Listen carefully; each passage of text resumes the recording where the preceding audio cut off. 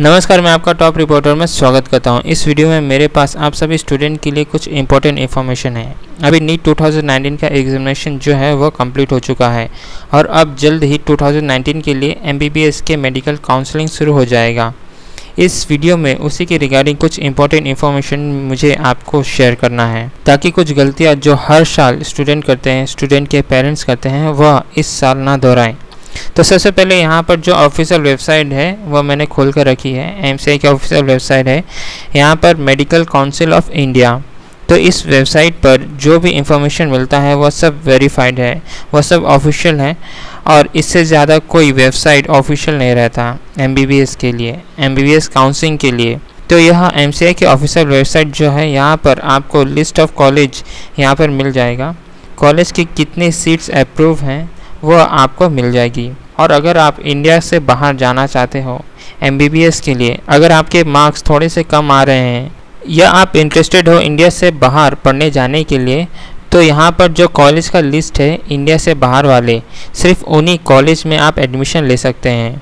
उनके अलावा अगर आप ऐसे कॉलेज में एडमिशन ले लेते हैं जो एम की तरफ़ से वेरीफाइड नहीं है तो जब आप वापस आओगे इंडिया पर पाँच साल अपनी डिग्री कंप्लीट करके तो वह डिग्री यूज़लेस होगी। इंडिया में वह वैलिड नहीं रहेगी। आप इंडिया में प्रैक्टिस नहीं कर पाएँगे। तो यहाँ पर हम नीचे चले जाते हैं। मेडिकल कॉलेज के रिगार्डिंग सब इम्पोर्टेंट इंफॉर्मेशन दिए गए हैं। यहाँ पर list of college teaching M B B S यहाँ पर आपको क्लिक करना है, जहाँ पर आप स्टेट वाइज पूरी डिटेल्स मिल जाएगी। अगर आप अपने स्टेट के रिगार्डिंग कुछ इन्फॉर्मेशन पाना चाहते हो तो वह यहाँ पर अवेलेबल होगा। अगर आप दूसरे स्टेट के रिगार्डिंग कुछ इन्फॉर्मेशन जानना चाहते हो कि इस साल के लिए एमसीए ने उनको कितनी सीट्स का परमिशन दिया है। यहाँ पर आप देख सकते हैं कि सर्च लिखा गया है। यहाँ पर आप कॉलेज का नाम डाल सकते हैं स्टेट का नाम डाल सकते हैं और फिर सब डिटेल्स यहाँ पर अवेलेबल रहेगी। जैसे कि कोर्स का नाम state name and address of college कौन से यूनिवर्सिटी से बिलोंग करते हैं मैनेजमेंट ऑफ़ कॉलेज क्या है ये गवर्नमेंट कॉलेज है, प्राइवेट कॉलेज है, यह सब चीज़ यहाँ पर अवेलेबल होगी। ईयर ऑफ़ इंस्पेक्शन यानी कॉलेज को इंस्पेक्शन कौन से साल में हुआ था, उनको कितने सीट्स अप्रूव है, वो यहाँ पर काफ़ी इम्पोर्टेंट है। एमसीआई का स्टेटस ऑफ़ रिकॉग्निशन क्या है? क्या एमसीआई ने उनको परमिशन दिया है?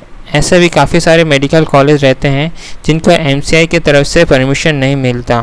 फिर भी आप उन कॉलेज में एडमिशन ले लेते हो, फिर लास्ट में क्या होता है, आपका सीट जो है वह कैंसिल हो जाता है, क्योंकि वह कॉलेज को परमिशन नहीं मिला एम की तरफ़ से। Date of letter of permission यहाँ पर दिया गया है कि कौन से साल में, कौन से डेट में उनको लेटर ऑफ़ परमिशन मिला है। तो यह सब डिटेल्स जो है, एक बार चेक ज़रूर कर लेना। यह खासकर उन स्टूडेंट के लिए है जो इंडिया से बाहर जाने वाले हैं।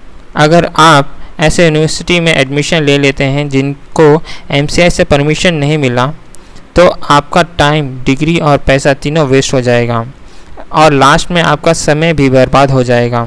आपको इंडिया में प्रैक्टिस करने का मौका नहीं मिलेगा।